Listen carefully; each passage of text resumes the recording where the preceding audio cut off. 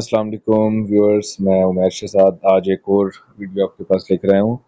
Actually ये हमारे client का प्रॉब्लम आ रहा था कि उनके पास 12 किलोवाट इन्वर्टर्स नाइट्रॉक्स दो इंस्टॉल हैं, जिसमें एक उन्हें जस्ट एक एज ऑन ग्रिड चला रहे हैं जस्ट फीडबैक करने के लिए, और एक उनके घर का लोड कनेक्टेड है। अब प्रॉब्लम ये थी कि कस्टमर ये जो शिकायत कर रहे थे, पिछले दो से तीन दफ़ा हमारा वहाँ पे एक नुमाइंदा भी गया, उसको चेक भी किया, लेकिन जो उनकी स्टेटमेंट थी, उससे कुछ मैनिपुलेशन और थी। स्टेटमेंट ये थी कि, जी, जब लाइट जाती है या जब ग्रिड शट डाउन होता है तो मेरा सब कुछ लोड बंद हो जाता है। तो अब, क्योंकि जब ये ऐसा सिनेरियो सुनने में आता है तो फिर हम क्या करते हैं? जाते हैं और वहाँ पे चेक करते हैं कि बैटरीज का डिस्चार्ज क्यों नहीं हो पा रहा जब ग्रिड अवेलेबल नहीं है। और होता ऐसे था कि हम जब तक जाते थे तो वो प्रॉब्लम भी सोल्व हो जाता था और पता ही चलता था ग्रिड आ गया और वो चल पड़ा है।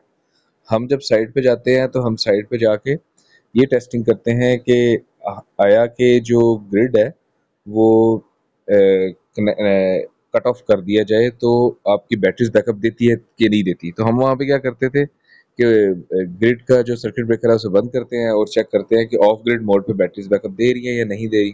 तो जब भी ऐसी एक्टिविटी पे हम टेस्टिंग करते थे off grid test off grid setting करके तो बैटरीज बैकअप दे रही होती थी। तो अब प्रॉब्लम ये थी कि जब भी कंप्लेन ये आती थी कस्टमर की तरफ़ से कि सर मेरा तो ये चल ही नहीं रहा आ, जब भी ग्रिड शट डाउन होता है। तो खैर उसके बाद मेरे तक ये केस आया तो जब हमने इसे थोड़ा सेस किया तो देखा कि जो कस्टमर की स्टेटमेंट ये थी कि मेरा जैसे ही ग्रिड शट डाउन होता है तो या रात को या दिन में किसी टाइम पे एकदम सारा लोड मेरा बंद हो गया।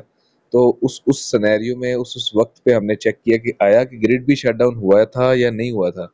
तो पता ये चला कि ग्रिड तो शट डाउन हुआ ही नहीं था, लेकिन इन्वर्टर ने लोड लाजमी बंद किया था। तो क्योंकि एक लेमैन को यही होता कि शायद बिजली गई तो मेरा बंद हो गया। तो इसके अंदर एक एरर आया था, ये F thirty three A C over current का फॉल्ट ये F thirty three A C over current का फॉल्ट जिस टाइम पे आया है, नीचे टाइम आ रहा है, उन्नीस बज के चार मिनट मतलब शाम के सात बज के चार मिनट है। तो हमने जाके इस पे जाके देखा कि एग्जैक्टली इस टाइम पे हुआ गया था। क्योंकि कस्टमर ने भी हमें फ़ौरन बता दिया था कि जिस, इस टाइम पे ये दोबारा प्रॉब्लम आ रहा है। तो हम यहाँ पे, अब मैं आपको तरीका बता रहा हूँ कि हम कैसे सेस करेंगे कि इस टाइम पे उन्नीस बज के चार मिनट पे जो कि ये दिखा रहा है, क्या इशू आया था। तो हमने सबसे पहले तो अपने पैरामीटर सेलेक्ट करने हैं जिनका हमें डाउट है कि इस टाइम पे क्या सिनेरियो था। तो हम ये देखते हैं कि इस वक्त पे, उन्नीस बज के चार मिनट पे आया कि ग्रिड अवेलेबल था या नहीं था। तो हम इसमें ग्रिड के पावर के तीनों फेजेस सेलेक्ट कर लेते हैं। तो अब यहाँ पे हमने देखना है कि शाम को जब कस्टमर ये बता रहे हैं कि ये मसला है तो देखें, उस टाइम पे उन्नीस बज के चार मिनट पे ग्रिड अवेलेबल है। एक फ़ेज़ पे एक सौ दस वाट लोड चल रहा है। एल टू पे 230 है और एक फ़ेज़ पे 3.82 किलोवाट लोड चल रहा है। अब जैसे ही हमने देखा हाँ ग्रिड अवेलेबल है ये थ्री थर्ड फ़ेज़ है इस पे 3.82 किलोवाट लोड है तो हमें थोड़ा सा ट्रिगर ये हुआ कि शायद इनका पर फ़ेज़ लोड ना एक्सीड कर रहा हो। तो हमने उसको वेरीफाई करने के लिए L1, L2 को एन चेक किया ताकि हम चेक कर लें कि एग्जैक्टली exactly उसी सेम टाइम पे ग्रिड पे क्या वोल्टेज थे या पावर थी और लोड पे क्या स्नैरियो बना। तो हमने उन तीनों फेजेस को भी सिलेक्ट कर लिया। अब ये देखें, हम दोबारा उन्नीस बज के चार मिनट पे जाके देखते हैं।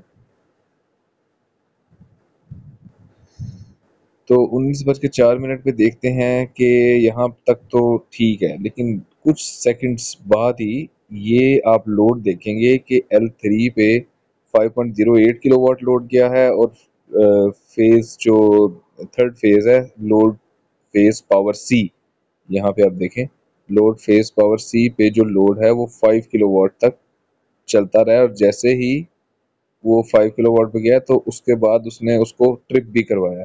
तो यहाँ पे इन्वर्टर बेसिकली एसी ओवरकरंट का फॉल्ट देता रहा है, लेकिन लोड भी कनेक्टेड रहा है।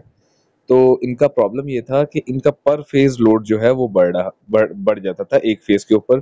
तो इसका एक्चुअली रेमेडी ये था कि हमने इनकी लोड डिवीज़न प्रॉपर करनी थी। तो लोड डिवीज़न देखें जो सोलर इंस्टॉलर हजरात हैं, ये इस बात को समझेंगे कि लोड डिवीज़न हम करते हैं क्लाइंट की एक्टिविटी बेस पे, अगर थ्री फ़ेज़ इन्वर्ट इन्वर्टर लगा हुआ। अब क्लाइंट ये ने ये बताना होता है हमें कि जी हमारे कौन सा लोड है जो एट द सेम टाइम चल रहा होता है तो हम उसको तीन तीन फेजेस पे डिवाइड करते हैं। बिल फ़र्ज़, वही उनका लोड, अगर उन्होंने किसी, जो कि वो चाह हमें जो कि बताया गया कि एक साथ नहीं चलता लोड, और वो चलाते हैं, जिसकी वजह से हमारी जो पर फ़ेज़ लोड डिवीज़न की कन्फिग्रेशन ख़राब होती है तो इसके ऊपर हमें एजुकेट करना लाजमी है कस्टमर को या यूज़र को, ताकि वो भी इस तरह से दोबारा दोबारा, बार बार मुश्किल में ना आए या उसको प्रॉब्लम फेस ना करना पड़े, सोलर के वाले से। तो ये एक केस स्टडी थी, मैंने सोचा मैं आपके साथ शेयर करता हूँ। और एक और बात इसमें शेयर कर दूँ कि देखें, ये 12 किलो वाट इन्वर्टर जो नाइट्रॉक्स का एक ही थ्री फेस हाइब्रिड अभी फ़िलहाल अवेलेबल है पाकिस्तान में वैसे डाई इन्वर्टर के काफ़ी सारे वेरिएंट्स हैं। तो ये उसमें प्रॉब्लम है। तो उसमें पहले बता देना चाहिए कि जी 4.5 किलो वोट लोड से एक्सीड करेगा तो ये एरर मोड में जा सकता है। आपका लोड बंद हो सकता है। तो ये बात हमने भी अपने कस्टमर को पहले बताई थी, और देन उन्होंने फिर ये थ्री फ़ेज़ मशीन लगाई। तो अभी कहने का मकसद ये था कि बैटरीज पे तो बात आई ही नहीं, लेकिन मैं फिर भी आपको एक चीज़ दिखा देता हूँ कि बैटरीज बैकअप देती रही हैं। तो बैटरीज का अगर हम देखते हैं कि बैटरीज कैसे बैकअप देती रही हैं तो ये देखें। यहाँ पे इनकी बिजली शायद नहीं थी, हम चेक कर लेते हैं। S O C S O C check कर लेते हैं ग्रिड पावर के तो अब देखें, यहाँ पे ग्रिड पावर नहीं था। लेकिन लोड चलता रहा। ये जो आपको S O C fifty two percent या कम आ रहा है, ये बेसिकली इस वजह से आ रहा है कि यहाँ पे जो आपका है इन्वर्टर है, ये दो हैं डिवाइसेस तो इस वजह से एक ही प्लांट में जब दो इन्वर्टर आप ऐड करेंगे और एक पे बैटरीज कनेक्टेड नहीं है तो वो बैटरीज 50 परसेंट पे ही शो करता है। इसका जो इंटरफेस है, ये देखें भी यहाँ पे बैटरीज फुल चार्ज है, लेकिन 50 परसेंट लिखा आ रहा है। तो ये भी इस के अंदर आपको एक छोटी सी चीज़ क्लियर हो जाएगी। इसमें फर्दर हम देखते हैं कि अगर इनकी कोई बिजली गई है पिछले दिनों में तो उस टाइम पे इन्हें बैकअप मिला है या नहीं मिला। तो ये बेसिकली जानना बहुत ज़रूरी होता है कस्टमर की सेटिस्फेक्शन के लिए कि उसको नेक्स्ट टाइम कोई प्रॉब्लम ना आए।